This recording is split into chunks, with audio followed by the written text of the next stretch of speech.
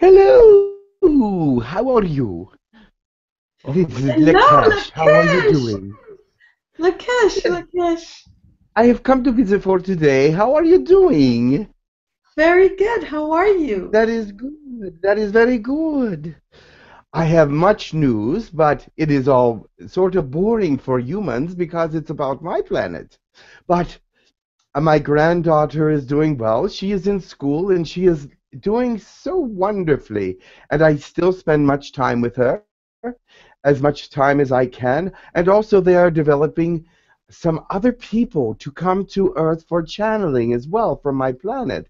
So there are others that are interested in bringing information from our planet to yours. So that is wonderful. We already have a few people that channel through your humans, Jean which is, which is called Georgette on your planet, mm-hmm. and we have Arusha and Yushara and Kalish. All are from our planet, and all are coming to speak to different people. Kalish right now is very quiet, but he does move into the body and moves body parts and things of that nature. But he is very anxious to start speaking as well. We also have some others that are coming. Erera is uh, preparing, and Sontiti. Very, very wonderful times are coming, and we will bring more information from the spirit world and from our world to you, helping you with your ascension times. That sounds Is there any questions for me? I know that I have not been able to come for a while. It it has been a little busy. I am learning uh, quantum physics now, and uh, this is the like the third course in quantum physics that I am learning. So it is very advanced, and sometimes I get a little confused. I'm not young anymore. So anyway, I just want to see if there's any questions out there for me. So, um, can you tell us what made you interested in in doing what you do, channeling? Uh, What was other the question? your society. I did not understand the question. Say it again. What made them interested in channeling the other members of your society? Oh, they, they saw.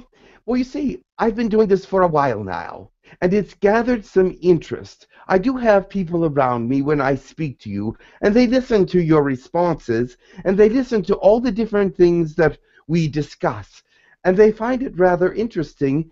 And at first, they were unapproving. They did not approve of uh, us speaking because we're a very private people. However, I, I sort of broke that rule in some ways, and now they are understanding that there is a benefit to the communication. As long as we don't leave the planet or invite you here, they are understanding that it is a good thing that we communicate.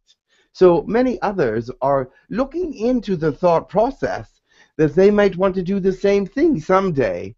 There's still some hesitation on some people's parts. However, I see the I see the mind turning. I see the mind turning, and they are thinking about actually becoming a, a member, or not a member, but a part of the information flow. Do you understand? Yes. And since you're learning about uh, quantum physics, I was wondering if you could speak a little bit about uh, parallel realities. Parallel realities, they're numerous, and they're all, and they can intersect one another. They're finding out that it's it's not so much parallel, but it, it stretches out in a continuous uh, phase. Do you understand what I'm saying? It's not that they're so separate. They actually are. It is all part of the same vibration stretching out. Does that make sense to you? And and there are several places where the vibrations become weaker or stronger, and so it's that would seem like a separation, but not necessarily. You see, as you live your life, you are out of phase with the next portion of reality. Does that make sense to you? And so, therefore, it is really not a new timeline, but the same timeline changing as it moves out from the center of the reality, from the center of that particular timeline. And so it would appear that every single place has their own energy when they become, when a decision is made, when free will is experienced, when something major happens that uh, causes energy, then that energy comes back. As you are moving your energy out, energy is coming back. It, it is a continuum, as it were, out to infinitum, so that you, as this person in this reality, can be very, very different um, many phases out. Does that make sense to you? Yes.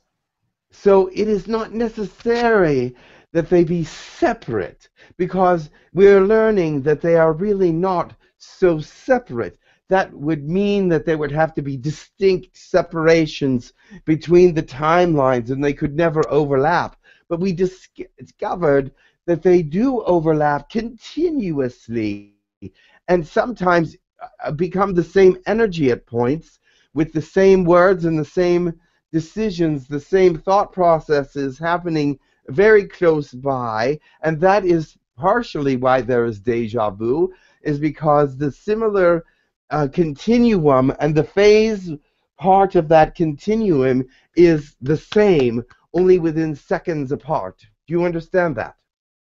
So you're saying, uh, if I'm uh, just to clarify it a little bit, um, are you saying that the timelines there could just be slight differences? Um, yes, they are not distinct. They are not so distinct as you once thought.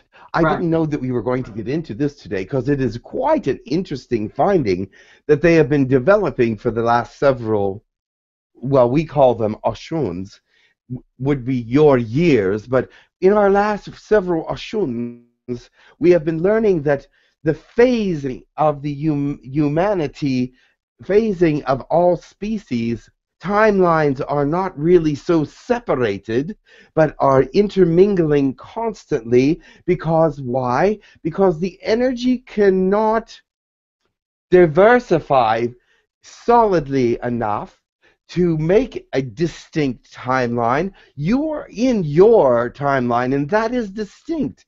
However, slightly out of phase from you, from your energy outside your aura, is different phases of reality. Does that make sense to you? So the only one that's distinct is the one that you're in. Mm, you lost me in that last statement. The only timeline that matters or seems distinct is okay. the one you are living in. And that timeline can move this way or that way or uh, involved energies of other timelines and find that other decisions which are very similar feed the decisions that you're making. It's it's it's quite it's all about energy transfer. Okay. So then, when when we transfer or or move into a different timeline, um, what you won't even know it. it. What moves is the the spirit, the energy the energy of the body is the spirit the, is the entire okay. your entire essence in this timeline moves with you always. Okay so then what happens to that me that was there that energy? What happens to that? What happens it absorbs other energy. And that energy abs- absorbs you as well because you're the next portion of reality is only phases away. You phase in and out of it sometimes. That is why you have the deja vu. That is why you have the encountering of other emotions that may not seem realistic to you at times. You if it depends on how sensitive you are to the energies around you, which timeline you are building into. Does that make sense to you? And this is part of the contractual work also, because energy cannot be really changed in the sense that its basic form is power. So it also also can be transformed, but it is still power. It is still something of uh, creativity. Do you understand what I'm saying? I'm trying to put it in the best form as possible. But yes, there are 32 different kinds of energies and and all those in between those, but it is that they can be transformed into these different elements for your thought processes, for your belief systems, for your sexuality, for your touching, for your movement. So all this requires energy, and all this is part of the energy fields that you are in. And because it can be affected, it can be transformed into another phase. So, therefore, when you phase into the next timeline, or actually, who knows what timeline you're really in? Because you're moving forward and pushing energy and uh, and finding energy, and the energy is going back and forth. It is an, a constant give and take because that is how energy is. But this is this discovery is still not completely defined, and it's rather confusing if you want to stop and think about it. But um, it does make total sense as far as scientific methods are concerned. Because to have separate timelines, the only timeline that is separated is the timeline that you're moving in. And that would be the same for any other any other person or any other species or any other living creature. Their timeline will change as your timeline does. And it only makes sense that they have to interfere intertwine and they have to share energies. It does not make sense that they are all separated. Does that make sense to you? Yes. And yes. so, therefore, we are finding that you can change when you change your free will or decisions or things of this nature, you change the phase of also the energy which you are moving forward in. And so is it fluid? In other words, do the timeline? Yes, it's very fluid. The, Energy the, is. Go ahead. Uh, okay.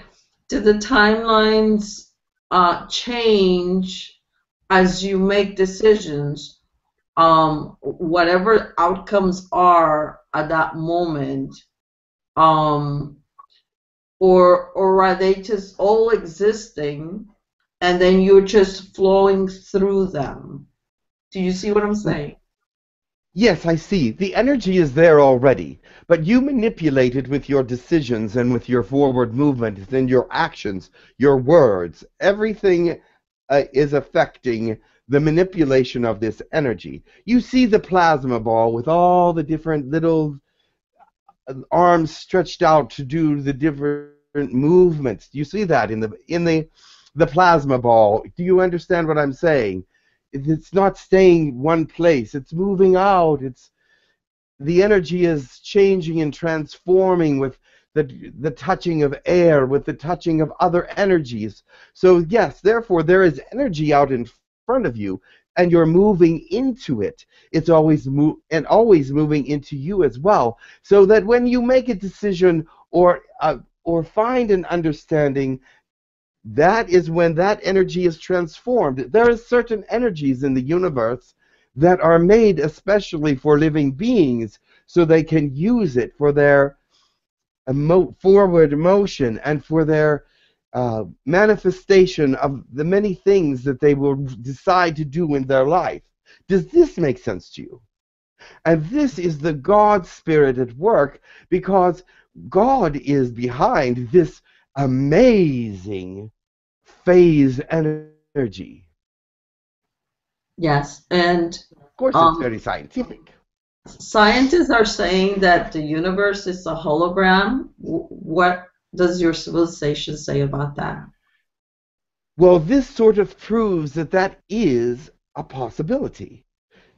Do you understand that? Because with phase energy, with energy that can be transformed immediately with a thought process or with a an action or a word or with anything, you see words can transform the energy in the air and make it dark or light or or or cause it to affect other people, correct? With this phase energy, it would seem that light and holographic energy and solids, well, because ah, I have to back up a little bit. I'm getting ahead of myself. I the light that is transformed into solids, because everything is transformed in one way or another to something else. Do you understand that? Because that is what it's made to do in this form. The phase energy is used to create and help to create and help to move forward. So, therefore, everything being a hologram is very true, but also everything being real is also true. Why? Because you can experience it in a sentient way, which means you can feel it, touch it, know it. But yet, it does not have to be real for it to transform into holograph. Now, does that make sense to you? I think maybe I lost some of you. Yes. Can I jump in and Yes, offer an explanation? sure. Okay, so we focus our awareness, and it the question becomes what is real and what is reality.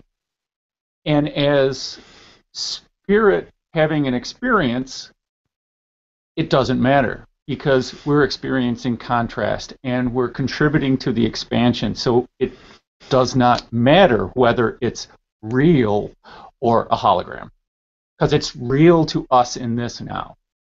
Yes. And you have transformed it from holograph to real, or real to holograph. It is what the phase, what you believe, your belief system does have something to do how the energy works. Do you understand that? Belief systems and energies work together. There are some species that are holograms because that is what they believe they are. And they can be that in a very real way and be sentient. Does that make sense? Yes. So therefore, you believe that you are solid, that things are rough, that things are there, and it is a wonderful because the universe is full of so many different visions of itself. Infinity upon infinity of visions of itself and teachings of what God is and perceptions of everything around it. It is so hard to put a single definition on this phase energy because it is all things.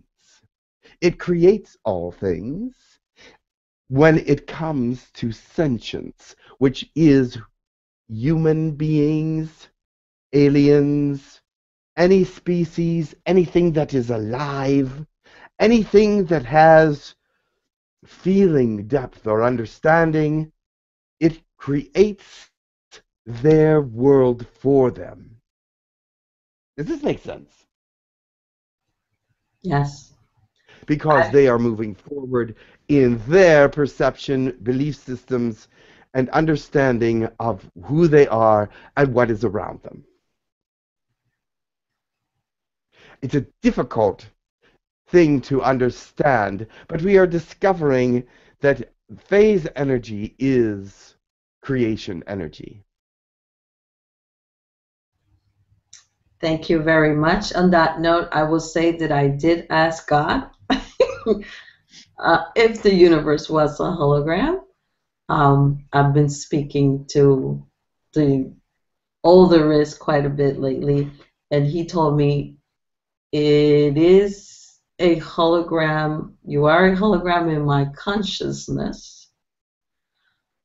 but you exist Yes. within and without me, though you are contained within me. Exactly. That explains it perfectly, actually. It is the energy that gives the explanation, because God is the sentient energy that explains all things, creates all things, causes and affects all things. Thank you for that, Lakesh. I love the conversation. The nature of God. Yeah. okay. So we are learning about this. I'm learning about this in my quantum physics because it just happens to we just happen to come upon this new idea that they have been working on for a while and so it was very fascinating to me and you sort of just led me right into it and I love to chat about things that I'm learning. And it was synchronous because that's all I've been thinking about lately. So, Interesting. yes. Um, But we are in phase together. Do you see that? This t- timeline, my timeline, is mine, and your timeline is yours. That's the only one that's important. The others are all phased together until you become part of it, and then it becomes your timeline. And that is the only one that's important, is the one that you're in. And if they're in another timeline, it is phased perhaps into yours somehow, but it always sheds energy into all, all the others. And so the only one that makes any sense is the one that you're in. And all the rest of them either feed you or or or you feed them. It's a constant exchange of energy moving in and out of phase. This is a lesson that we wanted to, that Earth needs to learn as well because this will help them understand how to move much more positively in a positive phase.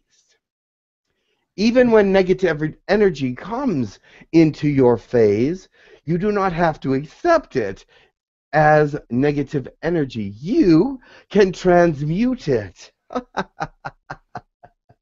it is a beautiful thing, but also you can accept it for what it is.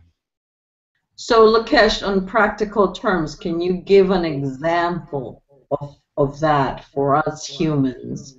How Oh, yes. Oh, absolutely. Um, as you're moving through your life, you're making decisions. Say that you've met someone that you are attracted to or that you are you're drawn to. Their energy and your energy are phasing in and out constantly, and you're determining whether it is a positive or you know that it's positive, but there might be some negativity in that. But your energies are constantly interphasing with one another. Now, if you find that your bodies have have to interface also, then you create a possible in phase between your bodies so they can connect. You understand this? Now, you have transmuted the energy of singularity into a plural energy, making your energy that of the other person's as well. Does this make sense? So the in this moment in time when you are fused together, you are moving in the same timeline together. Does that make sense? yes. Therefore, when you separate, you go back to your separate timelines, your separate decisions, your separate thought patterns, and your separation from this kind of singular energy, and continue to live individually as individual people on your own timelines, but that they do interphase with one another, and your energies one to another go back and forth. Interesting. I had not thought of that. What did you say? I said I had not thought of that. Yes. Is there any other questions? So we have questions from. Uh, does anyone in the room with Jim or over uh, over here on the web have any questions on this subject before we close it? I know that there are some. Oh, I Okay. feel I feel them bombarding the back of Jim's head. over Continue. here, over here. Yes, Hello, speak into Cash. the microphone. Hello, Lakesh. It's nice to see you. I'm Helga. In yes, in terms of there's a very good information coming out from a being called Adronis. Yes. Come September, there'll be an ascent into the fourth and fifth, at least the very positive beginnings toward that, and there'll be a definite change. Can you speak on that? There is a movement to the fourth dimension by your people consistently and constantly, and many much interaction inadvertently. Now, what I say inadvertently is because fourth dimensional energy has been uh, awakened into the human culture, into your minds, into your consciousness, and therefore you cannot help but move into the fourth dimension sometimes. Even those that are very third dimensional will have uh, night dreams and things of this nature that will move them into the fourth dimension in some way. Now, this interphasing of fourth dimensional energy is natural. It is the beginning of, of uh, consumption or transference or transmuting into your bodies and all things the fourth dimension. This is how it works. It's a it's a growth into the next dimension, and it is part of your belief system that this will come because it's part of what you believe in your mind. Even if you are not believing it in the third dimension that you were going to come to the fourth dimension, there is a belief there. Hmm, yes, it there is something that affirms that within you when you hear it. All right. I I'm getting a little out there. Yeah, you But- are. Can I s- can I add to Yes. that. Um, this is back to Dolores Cannon. She always spoke about two worlds, but this is a definite split. This is a definite shift, something that's becoming very obvious to those who are in the know, obviously, and some of the third will fall away. So there will be a break. There will be a definite break come September. Well, it has to be that way. So that's what I wanted you to speak about, The thing is, if you're it's allowed to. it's so hard to speak of it that way because it's not exactly yes it is the way you said but no it isn't the way you said. And let me explain that. She's saying an an actual break but from the third dimension to the fourth dimension. Is that what In you're saying? In a sense. But In a sense. it's not permanent in the sense that you'll be living in fourth dimension. Well, we will, those in fourth will be in fourth. Well, I don't know, obviously, but fourth, and then the, the third dimensional people, there'll almost be like a screen. One is really moved past that window, past that screen, and one is still. Well, let me explain something to you. When you're born into third dimension, you cannot go into fourth dimension for more than your, in, human terms, 34 days. Because after 34 days, you start to decompose. Because fourth dimension is a, a lighter dimension, Density, I'm sorry. a lighter density, density. yes. And so, therefore, yes, there will be a shift for a greater acceptance and a greater amount of fourth dimensional energy to be within the human being.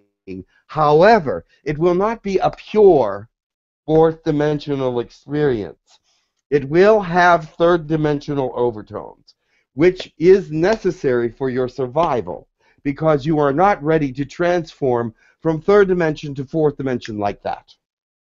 You see, it, it's a gradual movement, and as you can see, phase energy will help you with that transformation, but you must move in that direction with that energy. You see, and so what happens is you become more bombarded with a, a different kind of energy. Well, I understand that, so we've all been moving, but I'm saying that will be then going over that hump for all of us that are It is- going over that. And so it's living in all these dimensions, of course. Yes, well, that is what you're doing already. You're already doing that. Yes. It is a major shift in the sense that you will feel and think slightly differently. That's what I'm asking. yes, there will be a slight feeling, a slight change, a slight um awareness. It, it is an awareness. And it will be part of your emotional awareness as well, part of your spiritual awareness, a lighter feeling because the next density is lighter. However, it will not be fourth dimension as you know it. It will be dimension 3.85 or whatever because you will be close to the fourth dimension, but you will not be in it. But you will be feeling a lot more of that phase energy from the fourth dimension that comes to to ac- accept you, to change you, to uh, influence decisions, creativity, thought processes, emotions, things of that nature. Does that make sense to you? Yeah, so when I'm asking, do you see the acceleration? Yes, there is an acceleration toward that. Acceleration. It's going to really accelerate. Well, you can't help. Let's put it this way. Do you see how your evolution has been so far? The last 100 years, you've excelled at the, the speed of light, pretty much. In your learning, your knowledge, your your evolution has just come forward in all the things that you're known. You're expanding in such a great speed. So therefore, the fourth dimension is the same in the sense that you will be moving into it in a, a very quick way. However, at first, at the beginning of this, you cannot be bombarded. You see, the beginning of your evolution 100 years ago was slow and it moved faster, faster, faster, faster, faster. You see that. And that is how this will be as well. It will start off slow. It will be a definite change. It will be a definite um, sensation. It will be a different spirituality. But it won't be such that you will be going mad trying to accept No, it. And and it is gradual just like everything in the universe when it comes to moving forward. They make sure it, it's built in survival. It's built in survival that it starts off slow and moves quickly whenever you can accept the quickly but did you come from a molecule and then move to a body immediately no there had to be uh, many phases of changes, many phases of creation and evolution before you could even get out of the water. So, this is the same. Although you will be coming into a great amount of fourth dimensional energy, you already have some. You already have some. Your third dimensional minds were awakened to fourth dimensional energy years ago. And the the reason I can tell you that and the proof of it is many of you that are a little older will can remember moving in society and it seemed black and white. It seemed less emotional to move through your life. Do you remember those times when emotions were not given very strongly, where things were left to privacy and and things were not quite eh, social situations were a little different. But when they when they came when you finally had something to drink or the the the body was loosened, then all these things came out.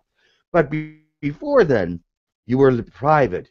You weren't that open. But now things are starting to open with your emotions.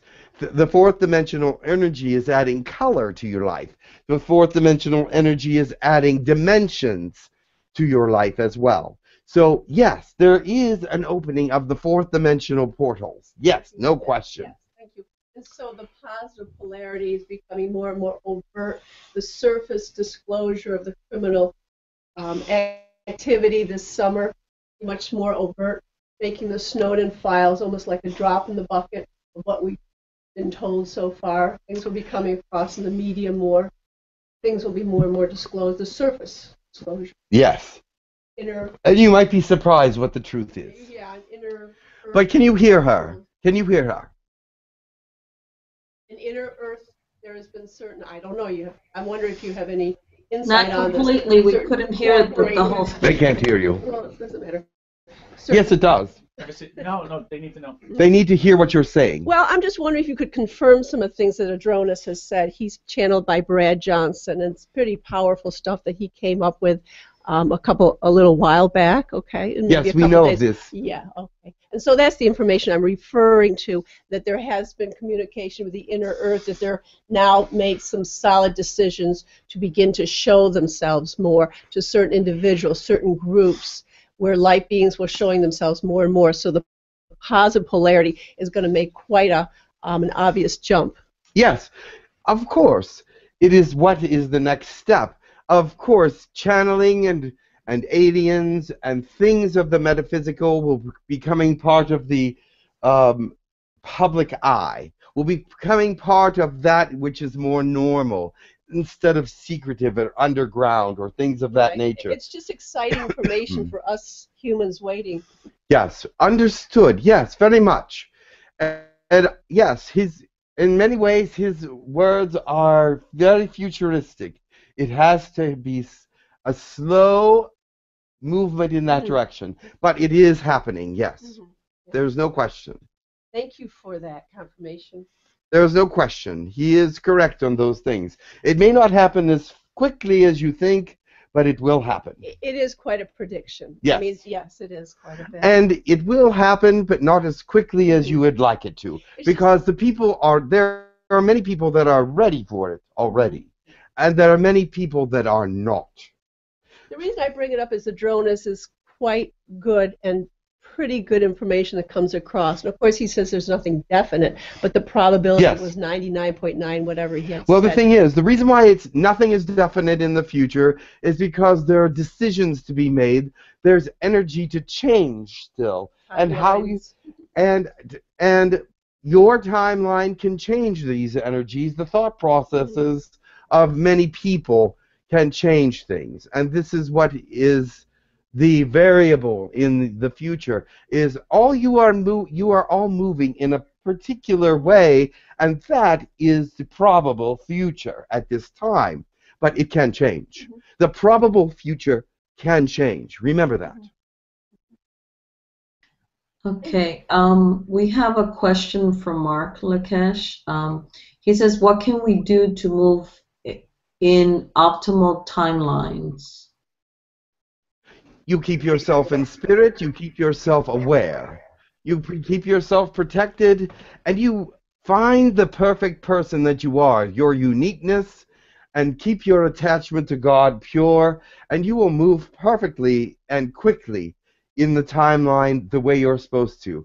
The problem with moving in the timeline is there's so many obstacles in your third dimensional belief systems and in the people around you. They have developed negative thought processes, they've developed all these different things to protect themselves from what they believe to be harmful. Whereas if they would give up some of these negativities, they would find out that the only thing that they're protecting themselves from is goodness and positivity. They're really not protecting themselves from anything negative. They're actually holding on to negativity, blocking positivity.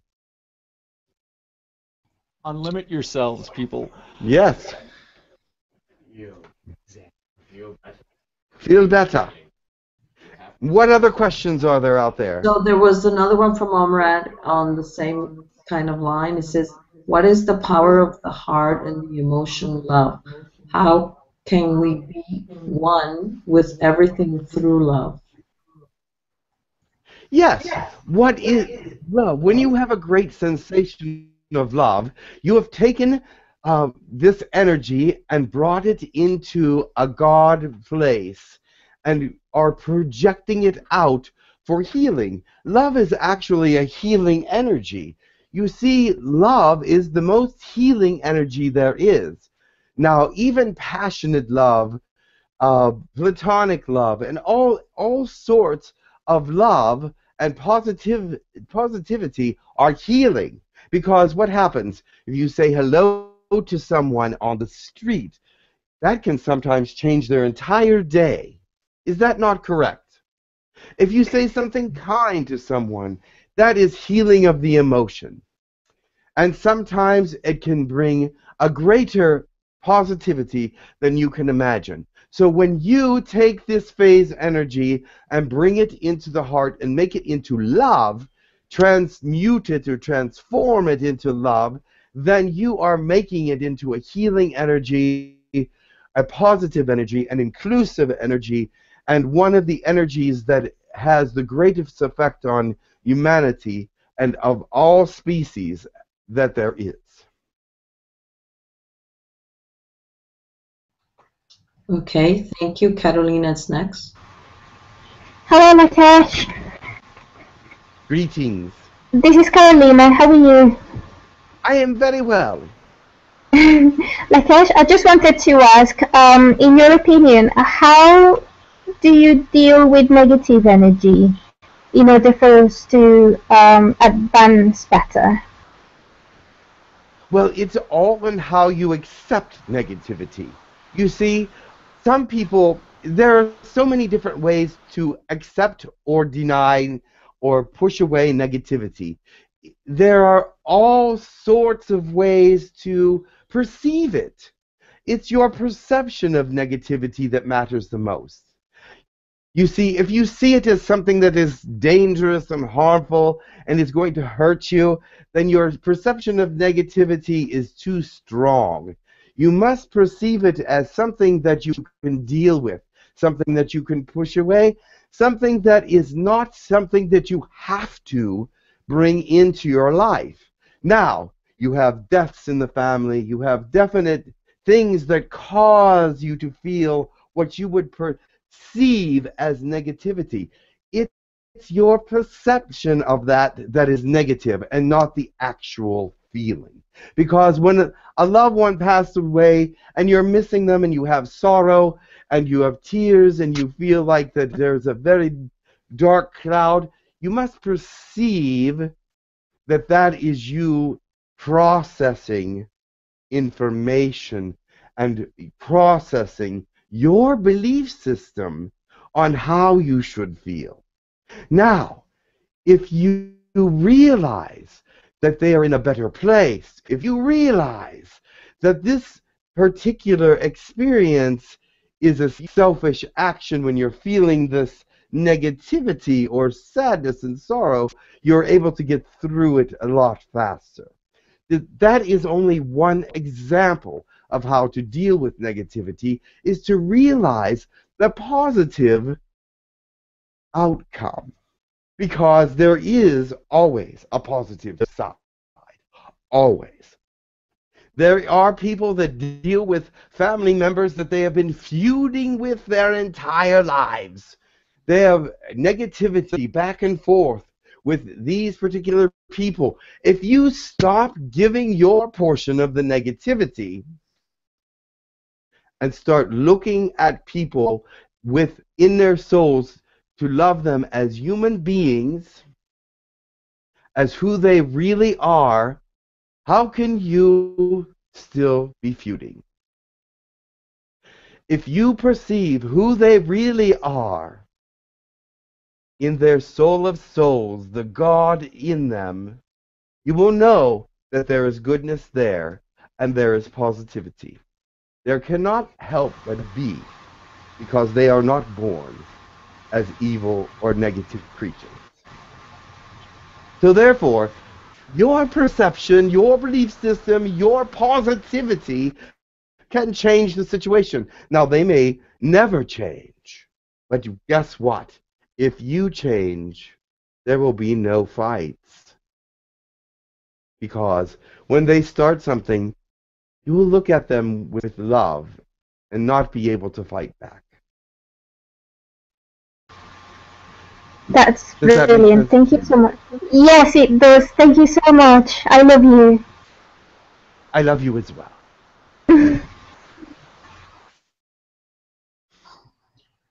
Is there another question? Yes, um, Christine had a question, but on what you just said, uh, Lakesh, what do you do when that person keeps still giving negativity? You just love them and look into their soul and see who they are in their positivity. And if they continue to give you negativity, just love them. Because it is up to you to be the greater positivity. And phase in and out with what is all around you. Take in all the good things and know that when these people are giving the negativity, it is not because of who you are, but because of who they are and their belief systems and what they have accepted from others. They believe what other people say. They believe society. They brought in the negativity of their their belief systems and their world. And you do not have to be a part of that. You may feel the hurt, but you do not have to accept it. You can say to yourself, I love them anyway. And I know that sometimes that is very difficult because you love these people. You are creating a good and positive feeling for them, and they're bringing negativity in their place. But if you do not fight with them, if you do not interact, keep your mouth closed, keep your heart open, what more can they do? You may have to swallow your pride. But what what is your pride? What is your pride? Why must it be demonstrated at this particular time? Why do we have pride? Or why is it that we feel hurt? Is it something that you are taking personally? You know who you are. Be the perfect person who you are. They cannot tell you who you are. You already know. So if they say you're a bitch, you have to accept that. It's hurtful because they think it, but you know it's not true. Or is it? Or can you bring that love out to show them that you're not? Now, these are things to think about. But actions, the action of love, speaks so loud to the entire world. And I know that sometimes they'll go back and say, Yes, I read her the riot, and she said nothing, so that makes me right. Does it? No. Because guess what? The person she's telling knows her as well or him. They know who they are and whether they should believe them or not. Be the one to be believed. Be the one to be believed. Be the one that is to be on the upstanding portion of belief. Transmute that energy into your, your positive thought process. it is not easy for third dimensional people to do that. But it is necessary if you want to get through some of these negativities. Thank you, Lakesh. Yes. That's beautiful. Brian is going to share. Okay. Just as an expression for our humanness, taking the higher ground is going up in a dimension of frequency. We spoke of the fourth dimension earlier. That is a frequency of feeling. And when we are creating love, sometimes the most simplest is to say thank you. Say thank you for every single organ. And after you've went through, what frequency are you at now? Saying thank you for the external person who has allowed you to feel even from a lower energy center. The mention of pride, again, that is a self-identification. The expression of gratitude is the frequency of love. That is the baseline for creating what we want to feel when we express gratitude, gratitude, hold that elevation, hold that frequency, it allows the body to be at ease and allows the true feelings to be recognized and felt. Our feelings are our energy centers, where it goes from the non physical into the physical. So expressing gratitude can often support, just as you, you shared, the idea of creating love. Correct. This is correct, and it is a good observation, and I thank you for selling that, because that may reach some that did not understand how I said. And there are so many ways to say it. It all comes down to one thing. The creation of love is something that you must learn within yourself, must find within yourself, and between you and your God connection. Thank you. Um, Christine is next. Greetings, Lakesh. Greetings.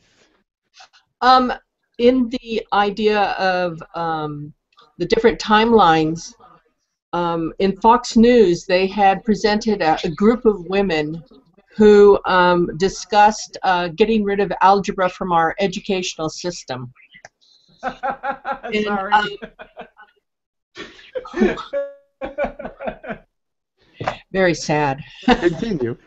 But um, my thing is is thinking along the timelines again, because I understand that in each timeline we're learning um, about an issue in different perspectives. Yes. Would it be so wrong for me to um, imagine and send expressing gratitude and love and so on and so forth for these women to bring out such a foolish notion um, that the majority of USA I already Yes. know the world is laughing at us, but that the majority of citizens in the USA laugh at them, and therefore um, it's gone. That they some of these uh, mayors actually won't pass that. I mean, is it wrong Yes. for me? No. Let, send them love. Send them the intention of understanding. Because even though they see no usefulness in it, they cannot perceive its usefulness, so they think that no one else can. And so, therefore, their perception of their world, their belief systems are controlling their thought processes.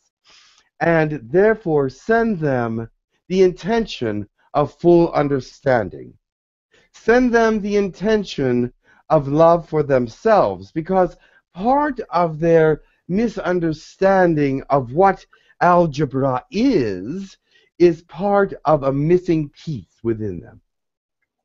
And that missing piece translates to the rest of the world, does it not? And everyone knows these people have a missing piece here. They do not understand what is happening with what algebra really is and what it does and how it relates to the culture, how it relates to the universe, how it relates to infinity, because algebra is ancient.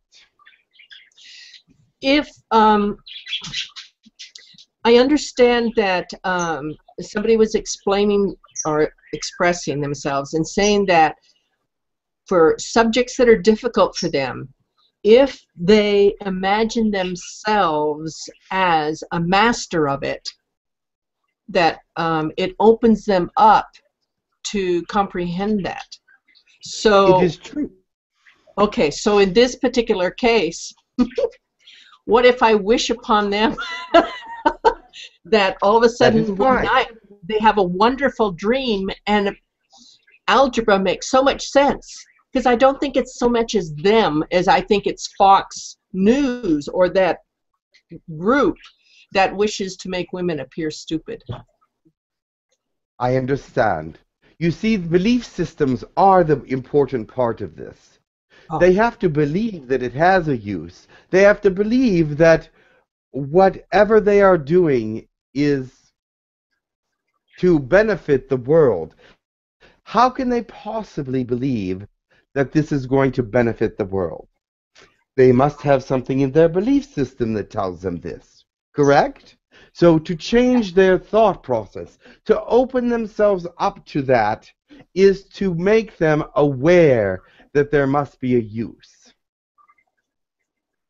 So, keep it in your mind that this is only a small group.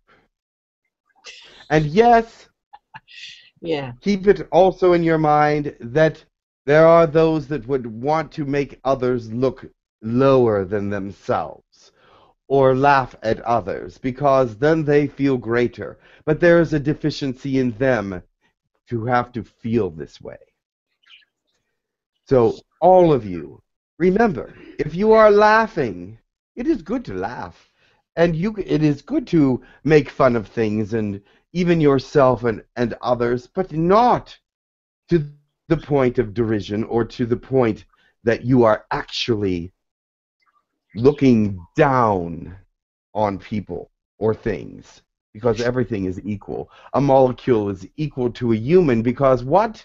There may be a world within that e- molecule that you know nothing about. We need a comedian who can bring all that together. I'll work on it. yes. Yes. Someone said Donald Trump. He's an actor. He goes, wow. Yes. Someone said he's a comedian. But anyway, George Carlin. anyway, very, very well. I understand where you're coming from and your intention to shed light on this subject with these this small group of people will will have an effect. It will have an effect. We just And it is already having an effect. Thank Oh. you. Okay. How many timelines did I affect? I hope many, many, many. Remember, the only important one is, Is your own. Because it contains now. Correct. Now that is why the Shakani can can reach their timelines is because they understand phase mm-hmm. energy. Is that something like bifurcation, bifurcar, bi, bifurcation, or I don't know how to pronounce that I'm word? not sure But where what many that word timelines. in your language. I'm not sure what that word means. I would have to look that up in your language. It's a it's a crossing of many. Uh, it's a crossing of many lines. Yes, it is a crossing of many lines. Yes, excellent. You have another question. So, thank you. You are very welcome. Um, Neil has a question next, Lakesh, but uh, I just want to check to make sure that uh, Jim doesn't need water, any hydration. I am I am checking with him now. One moment. Continue. Okay, Neil. I need Okay, hello, hello, Lakesh. How are you? Stay hydrated, my friends. Yes, Neil. How are you? I'm good. How are you? I am excellent. Good. Okay, so this question is about a different subject, and it's about something you spoke you spoke of in the beginning when you came through. So you said Yes. that there's a lot of entities that you know that are learning to channel just now. So um, Yes. it's something I've been interested in for quite a while. Is what what's the process of channeling channeling from the other side? Well, we use technology. Is that what you're asking?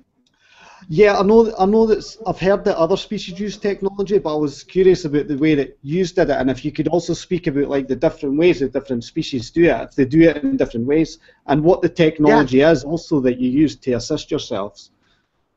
Yes, we have translation technology. Also, we interface with the channel areas in the human brain. Oh, there are certain areas of the human brain that we can find that are more accessible to our particular vibration and energy. Now, other species may find that their vibrational energy does not fit with the same channel. Humans have many channels in the brain. The brain is not completely open for channeling just quite yet, but there are many humans that are now processing. This is one of those changes that fourth dimensional energy will allow is greater accessibility to the channel areas in the mind. Many people only have one or two. There are some that have several. You have more than one or two. So therefore, many different kinds of beings can access your thought processes when you're open in more than one way. You see, I would I find that you have a channel for us as well. We would be able to come through you. Our vibration would work with you. So that way you would be able to uh, channel us if therefore your belief system is acceptable to that. Your physiology is already acceptable, but you need the belief system to make it happen. Yes. Okay, so when you're talking about the channels within your brain, what, what do you actually mean when you say channels? There are places in the brain that are accessible for certain vibrations so that we can speak to them, and they are communication area in the brain. There is the communication area in the brain is actually more than one place. There's vocal communication, there's psychic communication, there's telepathic communication, there's empathic communication. We can access one of those areas and find channels. All those areas have different channels, and there's also eye communication, there's all third eye communication, there's many different areas that can be accessed for channeling other beings, spirits, angels, God, things of this nature, and they're not all in the same place. They are all accessible in some way, but you must have the belief system to make them operate as well, and also to open them sometimes. Yes, because your belief systems are the first Yes. filter that comes through, right? Oh, sorry, on sorry, on you go. Sorry. I, I think I. What did you say? Uh, sorry, well, yeah, I was just saying because your belief systems it always comes it filters through your belief system first. Is that is that that's right? Yes. Is that right? It does filter through your belief systems at times, um, but a lot of people are open to it, so it it is already part of their belief system to accept it. But what it is now is you just have to find that place and relax into it. Okay. and we'll be there. Okay, so one other question I've got is, oh, sorry, well, I'll let you go first. Sorry, sorry, on you go. sorry. I was just going to say that it's the belief system that you need to. All of the channels are in this now. Okay? So if you relax into it, like Lakesh said, that if you relax into it, you're allowing the entire now, you're allowing yourself to be the entire now. And so Huh. all the different levels can come through at that point. So you don't have to limit yourself to any one particular dimension or limit yourself to any one particular being. And it is also part of phase energy. It will come to work for you. That phase energy, you're changing it into the energy you need.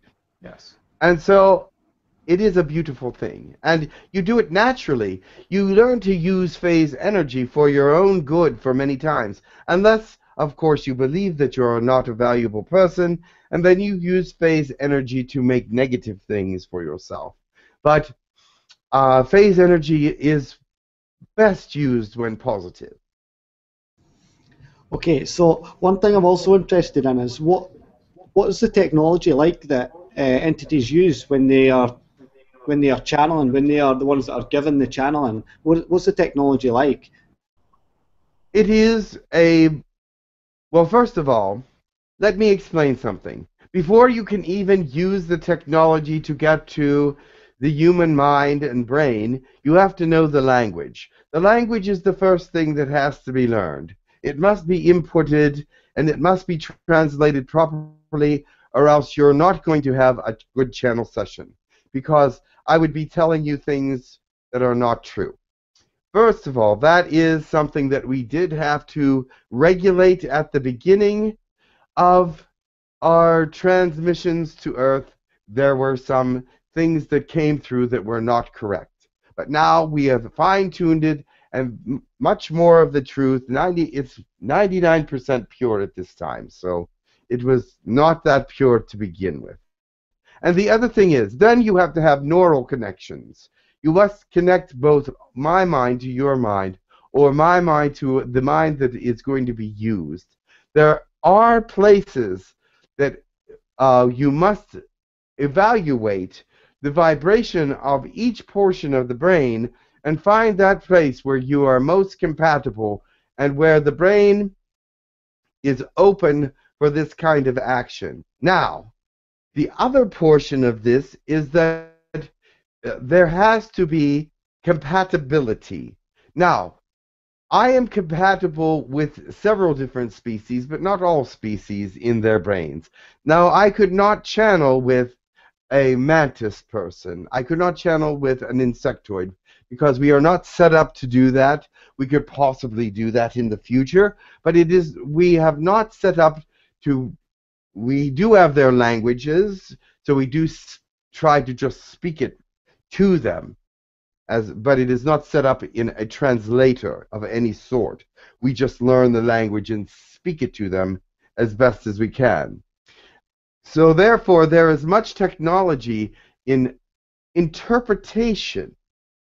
And with this technology also, you have to use the brain of the person that you are channeling with for some phraseology, because not every word that we have translates into every word they have. It's not like we have an exact same meaning process. So therefore, we have to use some phrases from the human mind. So that has to be accessed as well. And the, vice versa, they have to be able to uh, hear this, these words and know what it means in our language so that it can be um, 100% accurate. Does that make sense? So therefore, we, there is a download given to the human for our language, but not necessarily for them to speak, but for them to help channel. Um, let's see. There are fiber optics used in our transmissions as well because it helps to um, fine tune vibrations. Light helps to fine tune vibrational activity. Is, is there anything else you need to know? Okay, so one other thing I was I was curious about is there certain light workers on the planet who who later on will be able to channel through other humans? Not at this time. There won't be humans channeling humans. But except for when they're on a spaceship and using technology. Now, if there's technology on your planet for them to channel into another human mind, that is possible. But I do not think it exists actually on your planet at this time. It does exist on Girk Fitneer, which is the ships around your planet. But and I know that humans have a channeled through the Girk Fitneerian process, but it is not a part of the earthly exist, uh, experience at this time. Aye, okay, you answered my question. Okay, thank you very much for that, Lakesh. I'm sorry to everybody for taking so long, but yeah, thank you very much for that. Much love. Lot. So, Hello, Lakesh. Guru Dan. Lakesh. I have a member. I have a member question from uh, from Peter. He says he created with his device a connection with an Essassani portal. Can you elaborate more? What does this mean? And then he comments that another alien told him that this was caused, or th- it has caused his strong emotional roller coaster. So, is there something up with Yeah. uh, with his portal there? Does he need an attunement or something?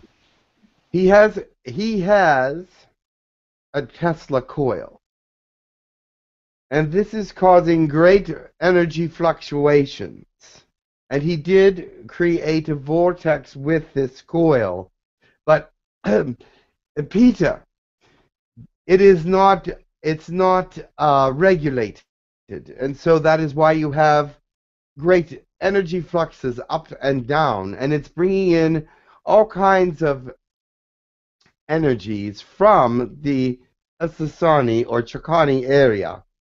If I were you, I would either close it down or make it or weaken it in some way because it it's going to cause a great emotional roller coaster, as you said. But what you want it to do is only bring in the positive energy. This can happen with some intention.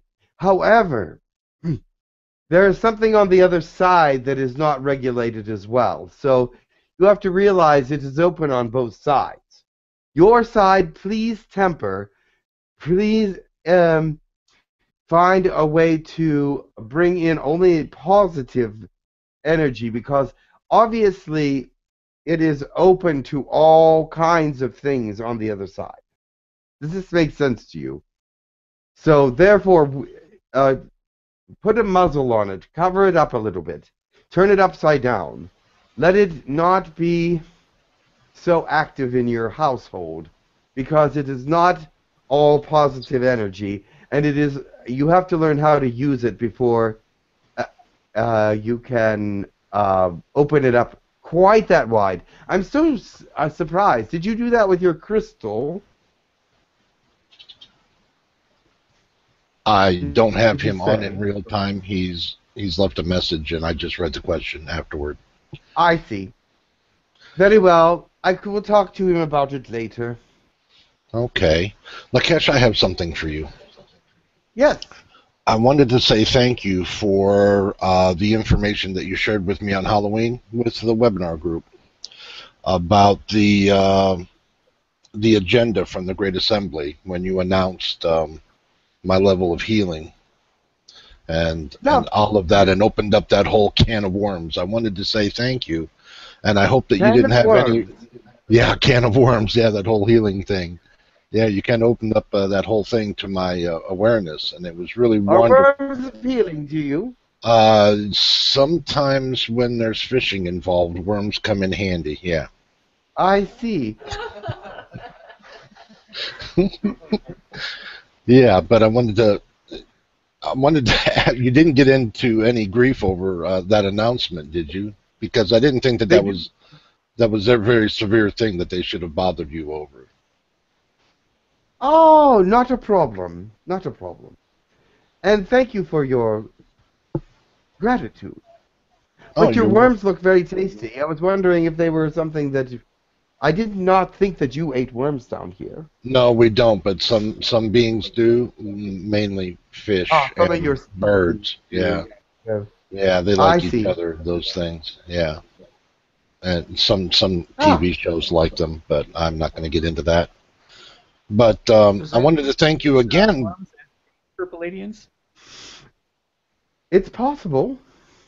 Yeah, we do like worms and grubs. But from our planet, I don't know what your worms taste like. It'd be uh, gourmet worms then. Yes, maybe they would be gourmet worms, but but we have our own. Yeah, gummy worm. What? this isn't the direction I planned on the topic going, but it is funny.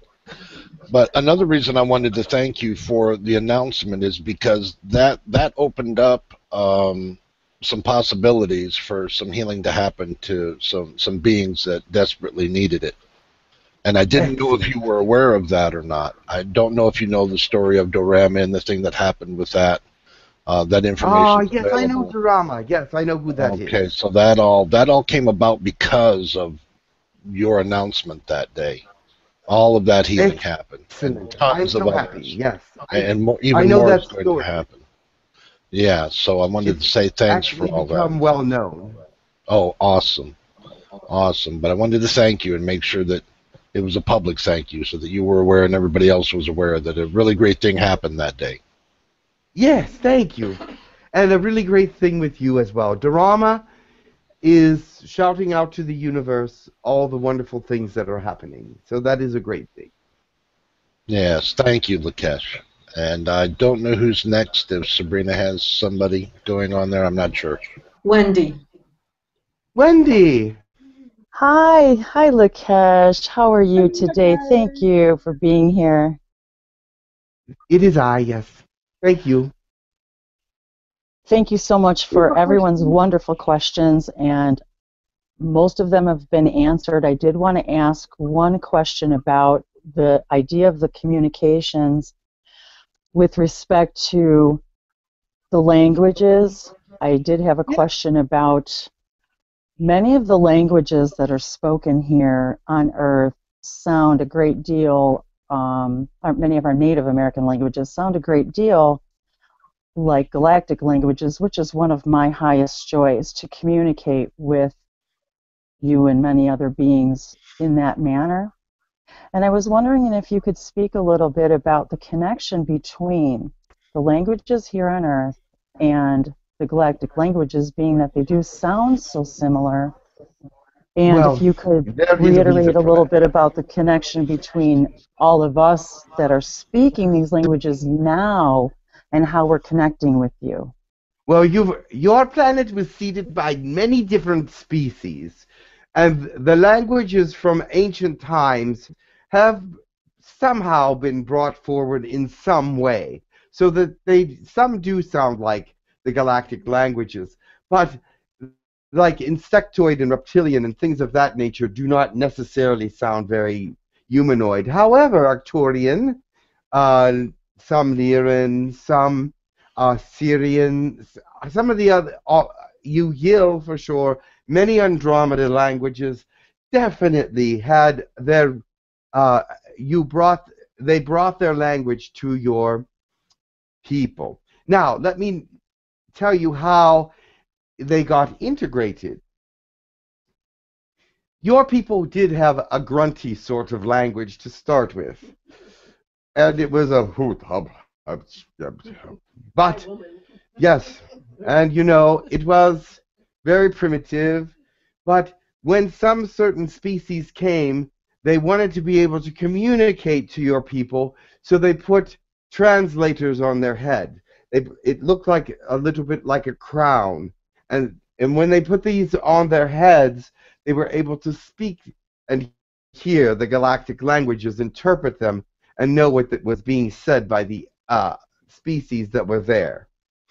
This became a common practice. That's where crowns come on your on your planet. Is that these translators brought the intellect up of these people, and they started to think that they were special. They didn't give these to everyone, but the most intellectual of the tribe or group would have crowns on their head. They looked like crowns, but they were actually translators, and so they were able to communicate with the with the aliens or the species, and therefore were also able to speak the language back to them. And these things were carved in stones, written on the on the ground and in their languages. Some had vocabulary, some had alphabets, and so it became the sound of their languages changed eventually because of these aliens that came to bring information to the earth. And putting these certain translators on helped change how people spoke. They they became interested in the phonetics of the species that was speaking. Does that make sense to you? And Yes, therefore changed some of their languages, and it, it, it did evolve. Excellent. Thank you very much for that explanation. I, I kind of thought as much. So, with respect then to um, vi- vibration and frequency and timelines, then would then it stand to reason that we then would be communicating or resonating, therefore, with specific languages? Would that be because they're more of our direct connection to spec- like our family, for example? It is yes. There are those that will connect because of the seeding of your populations with that particular seeding. But there are others that are just open to many, multiple languages, and those people will just gravitate to, to these different sounds and phonetics and languages on their own because that is what is meant to be for that particular life. Thank you for answering that question for me as well, um, without me actually asking it. Um, I- Yes, I, know I- who you are. yes, I, I, I know. um, I wanted to ask you as well about the Pleiadian. There seems to be many channelers right now who are feeling this influx of Pleiadian energy, and different um, councils, different collectives that have that have been resonating and connecting with with several channelers.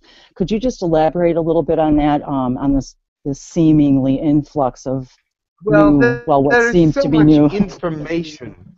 There's so much information out there that you are not evolved enough to grasp all the information that is out there. But there are so many species that are wanting to come and tell their part and give you their portion of, of what they understand to be their portion of your enlightenment to help you along, their information, their understanding of who you are, and or give them an understanding of who they are.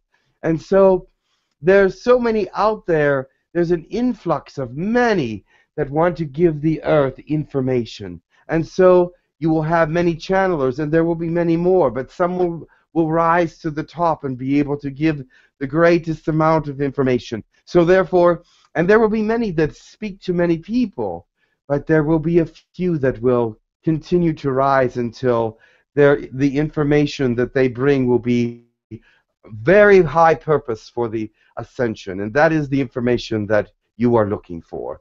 And there will be much information, and it will all help into in the evolution of mankind and in the evolution of things to come for the fourth dimensional energies. Of course, these people are all necessary. It's just like to make a building, you have to have many different things. But yet, without them, the building cannot be made. But yet, one important brick is as important as the very spire that is on the top of the building. Do you understand? I completely agree. Thank you, Lakesh, for that. So there has to be many bricks in the building so that the building can be seen and understood and be accepted for what it is. Beautiful analogy. an Thank you so much. analogy. I'm And I send sure. my I send my love to my Pleiadian family and, and all of you, and thank you so much for being here and, and answering these wonderful questions for us today. Mia tu ayamakia samia Oh, you are so welcome. You're so welcome. Is there any more questions, or do you want somebody else to come? Um, there was one more question from Christine on the subject of languages, and then Yes. Lakesh, there, um, many years ago, over 20 years ago, I was taking an archaeology class, and they introduced um, a tribe in Africa that was about three feet, four feet tall, and in their language, they used whistles, chirps, and um, clacking, and so on and so forth. It's part of their language. Where Yes. where did that particular tribe? They were very isolated until people started logging that area. They But were visited by the insectoids. The insectoids have clicking, whistling, and unusual sounds in their vocabulary. Also, they are they were affected um, physiologically by them. They gave them some uh, infusions, and that's caused their race to become smaller in size. And uh, these clicks, they thought perhaps that it, they were doing them a good, uh, doing something good for them because they saw that the insects on Earth thrived in a greater way than the human population. The human population was very fragile. And so for this tribe, they gave them insectoid um, hybridization because they thought that would help them, which it did, actually help them with their physiological endurance on the planet. As you see, insectoid, insects thrive on this planet. And that's one of the things that insectoids love about this planet is it is the perfect all over this planet is perfect atmosphere for insects.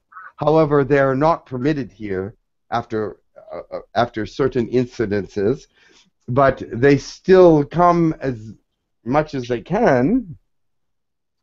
But they were cast out by some of the governments. Whatever happened to um, those tribes? Because they were um, moved out of their forest because of the forest. They wanted the some people wanted the forest, and they were moved into um, into the outside land where there was no trees and whatever Yeah. happened to them. Well, some of them died off, and some of them were taken by the insectoids off the planet. That's good.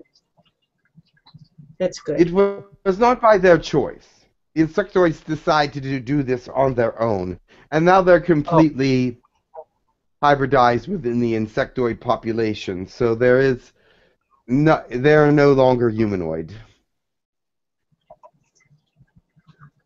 Exactly. Such is life. Very well. Thank you. You're welcome. Well, thank you. Does anyone else in the room with Jim have a question for Lakesh? Okay, it seems Yeah. that ev- everyone is is done. Um, It seems like I have taken up most of the time. and it's great because we love you and we wanted you here. So, um, Well, thank you very much. um, would you like to give us a blessing before you go, Lakesh?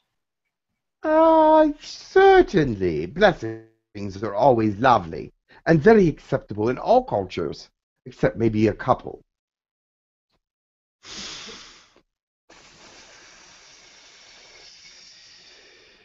Chua. Yes, it's a Chukya tip tap. Nip tip tia, quit the box. Och, Los Anzi atpiaula tia parabati. Seke aftioptio kuakata. Uretu osit ja atine töpti apotu. Foti spati abit a no fantie chopchop. Ah, Sek ook zo af, zo uit iets af, abet. I did it in our ancient language. I thought you might enjoy it. What it interprets to is this. From the beginning of time, there has always been something there that moves the energy, that makes it feel and think and discover, that makes it create and know certain things about itself and other things. Let us all understand that we are part of that ancient energy and move forward knowing that, that we will always be part of it and always grow and learn and sense and be creative in our perfect selves. And as we move forward, we become more perfect and more understanding of what it is that is and we are part of.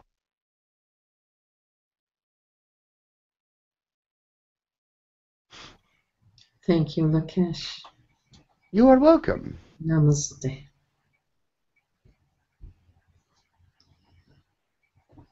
Have a wonderful day. You too, Lakesh. Enjoy your grandchild. Oh, she is a delight. Don't get me started. Okay. I do love her so much. She is just like mm, my perfect little girl.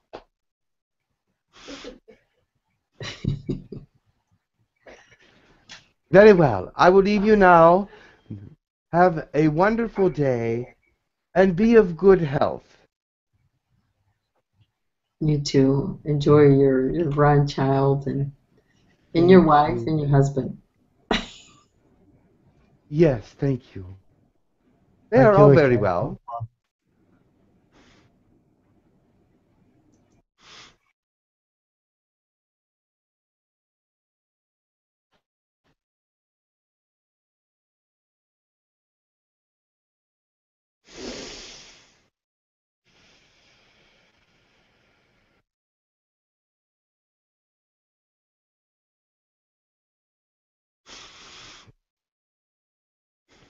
Hello. Ooh. Hey, Jim. Hey, how is everybody? Hi, Hey, Jim. welcome back, Jim. Have a drink. Good. I am going to have a drink.